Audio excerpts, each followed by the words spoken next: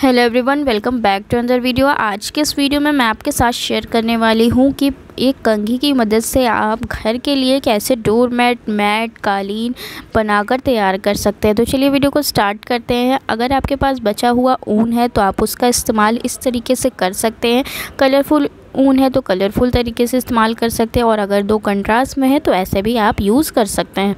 तो यहाँ पे सबसे पहले करना क्या है? हमें लेनी है एक कंघी और उसको हम यहाँ पे एक ऊन में नॉट दे देंगे और उसके बाद हम यहाँ पे 40 राउंड्स ऊन के कर लेंगे। तो बस ऐसे करके इसको 40 राउंड्स हमें कर लेने हैं। तो ये देखिए, ऐसे करते हुए हमें पूरा 40 राउंड्स इसमें लगाते जाना है। तो यहाँ पे अच्छे से हम बिल्कुल बराबर से 40 राउंड्स लगा लेंगे और इसको लगाने के बाद ऊन को हम कट कर लेंगे। तो यहाँ पे ऊन कट कर लेंगे और इसके बाद इसको इसमें से निकाल देंगे। तो यहाँ से हम इसको ऐसे निकाल देंगे और एक साइड से हम कट लगा लेंगे। तो ये देखिए, यहाँ से हम एक साइड से इसमें कट कर लेंगे। और इसके बाद अब हम यहाँ से ओपन कर लेंगे। तो ये एक लंबा ऊन की दा, वो बन जाएगी। तो अब हमें करना क्या है? एक कॉर्नर से हमें इसको ऊन लपेट कर बाँध देना है। तो ऐसे करके हम एक तरफ़ से इसको बाँध देंगे और सेम ऐसे ही हमें तीन पीसेस बना लेने हैं। तो ये देखिए, ये मैंने थ्री पीसेस बनाए हैं। अब हम इन तीनों को आपस में बाँध लेंगे। इसको बांधने के बाद यहाँ पे इसकी एक हम ब्रेड बना लेंगे। आप चाहे तो एक साथ इन इन सारी लाइंस को कवर कर सकते हैं, लेकिन मैंने अलग अलग इसलिए किया है ताकि कंघी में बिल्कुल बराबर से ऊन आ जाए। तो यहाँ पर ऐसे करते हुए हम इसकी ब्रेड्स बनाएँगे और ये हम पूरा कंप्लीट कर लेंगे।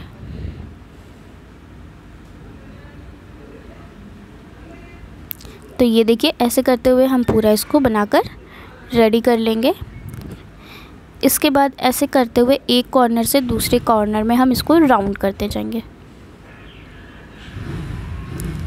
तो ये देखिए, ऐसे करके हम इसको पूरा राउंड कर लेंगे और यहाँ पर लाकर स्टॉप कर देंगे। तो सेम ऐसे ही हमें करना है।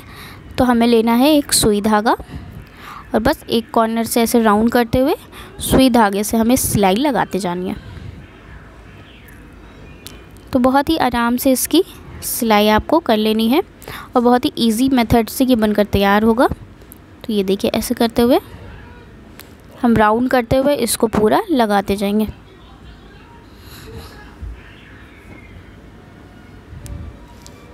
तो ये देखिए, ऐसे करते हुए हम पूरी इसकी सिलाई करते जाएँगे।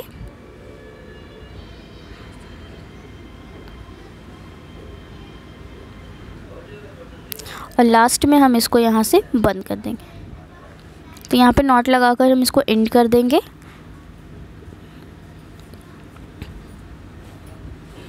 और इसके बाद अब हम इसको कट कर लेंगे। तो यहाँ से हम धागे को कट कर लेंगे और ये हमारा बहुत ही प्यारा सा फ्लावर बनकर तैयार हो जाएगा। ये देखिए बिल्कुल आसानी से ये बनकर दो मिनट में तैयार हो जाएगा। तो ऐसे ही आप ढेर सारे फ्लावर्स बनाकर मैट, कारपेट, कालीन, डोर मैट जो बनाना चाहते हैं, बचे हुए ऊन का आप बनाकर रेडी कर सकते हैं। मल्टी कलर में बनाना है तो मल्टी कलर में बना सकते हैं। तो इस तरीके से देखिए मैंने दूसरा भी फ्लावर यहाँ पे दूसरे कलर का बनाकर तैयार किया है। तो ऐसे ही हम ढेर सारे बना लेंगे। तो बहुत सिंपल तरीका है इस फ्लावर को बनाने का। तो देखिए, कितनी आसानी से मैंने इसको बनाकर ब्रेड की मदद से तैयार कर लिया है। तो अगर आपके पास बचे हुए ऊन है तो आप इस तरीके से इसका यूज़ कर सकते हैं। तो ये था बहुत ही आसान तरीका जिससे कि आप इस ऐसे फ्लावर बनाकर, वन बाय वन करके अपने लिए कारपेट, मैट डोर डोरमेट कुछ भी बनाकर तैयार कर सकते हैं। इसको और अट्रैक्टिव बनाने के लिए आप इसमें पर्ल डाल सकते हैं एक एक ग्लू से या फिर सुई धागे से आप इसको लगा सकते हैं। तो यहाँ पे देखिए, ऐसे करके हम इसको लगा लेंगे।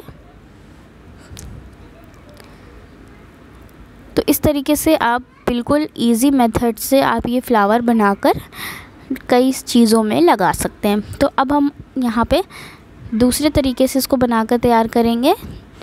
तो वो भी बिल्कुल आसान तरीका है इन फ्लावर्स को बनाने का। तो सबसे पहले हमें करना क्या है? यहाँ पर लेना है हमें फिर से कंघी और इसमें फिर से हमें सेम नॉट लगाकर ऐसे ऐसे इसको राउंड कर लेना है। तो ये भी बिल्कुल आसान सा तरीका है इस फ्लावर को बनाने का। तो यहाँ पे जब ज़्यादा राउंड हम लगा लेंगे, उसके बाद हम इसको कट कर लेंगे। कट करने के बाद वैसे ही हम सेम इसको ऐसे निकाल देंगे। निकालने के बाद कट लगा लेंगे। कट लगाने के बाद हम जैसे ऊपर की ओर नॉट हमने लगाई है, वैसे हम नॉट लगा लेंगे। तो यहाँ पे देखिए नॉट लगा लेंगे ऊपर की ओर।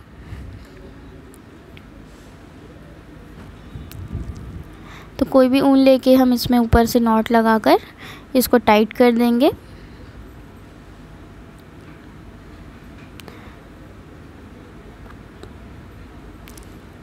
दो तीन नॉट अच्छे से हम टाइट यहाँ पे लगाकर इसको फिक्स कर देंगे।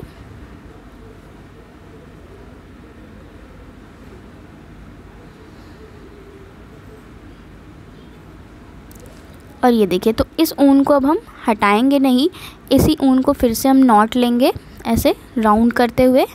थोड़ा दूरी पर हम इसको खींच देंगे। तो ये इस तरीके का शेप बन जाएगा। तो ये देखिए। यहाँ से इतनी दूरी पर हम एक इंच की दूरी पर रखेंगे। दो नॉट यहाँ पे लगाएँगे जिससे कि अच्छे से टाइट हो जाइए। तो ये देखिए सेम ऐसे ही करते हुए हमें पूरा इसको करते जाना है। तो ये देखिए, दूसरी भी मैंने ऐसे ही राउंड लगाकर थोड़ी सी और गैपिंग लेंगे और फिर से हम इसको इसमें नॉट लगा देंगे। तो ऐसे ही हमें तीसरा भी कर लेना है।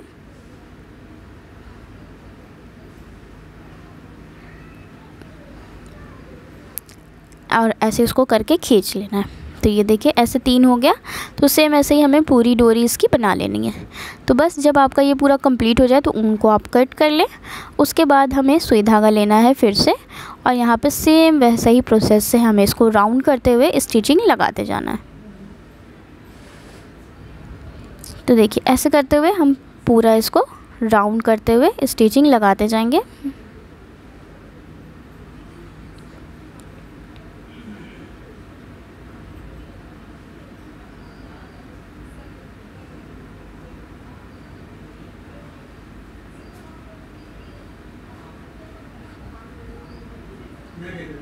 और ऐसे करते हुए हम पूरा इसको स्टिच करते जाएँगे। तो ऐसे करते हुए पूरा राउंड इसको स्टिचिंग लगाते जाएँगे।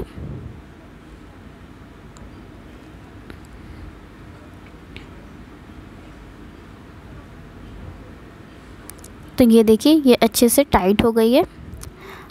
ऐसे अब हम और इसको राउंड करेंगे।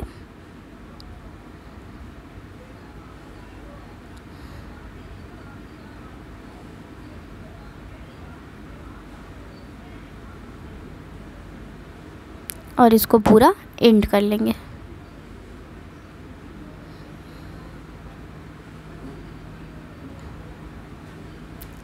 तो ये देखिए, ऐसे करते हुए हम पूरा इसको नॉट लगाते जाएँगे और इसमें जहाँ जहाँ पे ज्वाइंट है, वहाँ वहाँ पे हम बस इसको स्टिच करते जाएँगे और इसको घुमाते जाएँगे और एंड कर देंगे। तो एंड करने के बाद ये कुछ इस तरीके की डिज़ाइन का फ्लावर बनकर तैयार होगा।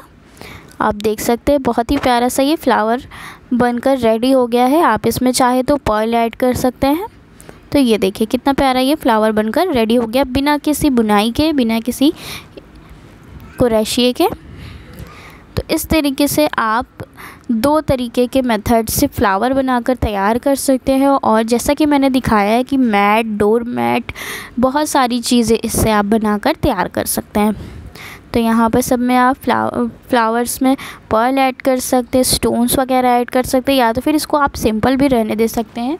कई कलर कर बनाकर आप इसको कपड़े पे अटैच कर सकते हैं, या तो फिर आप अगर मैट बनाना चाहते हैं तो आप पहले प्लेन डोर मैट बना लें, उसके ऊपर इसको अटैच कर दें। तो बस इतना सा आपको काम करना है, और ये आपका प्यारा सा डोर मैट बनाकर तैयार हो जाएगा। तो देखिए, इस तरीके से मल्टी कलर में अगर आपके पास ऊन है, थोड़े थोड़े थोड़े थोड़े ऊन बचे हुए हैं अगर तो आप इस तरीके से मैट डोर मैट थाल पोश कुछ भी बनाकर आप तैयार कर सकते हैं। तो शॉल वगैरह अगर ठंड में आपको बनानी है तो वो भी आप बना सकते हैं। मेरा प्रीवियस वीडियो में मैंने वो भी बताया है। तो आई होप आपको वीडियो पसंद आई होगी। Thanks for watching bye bye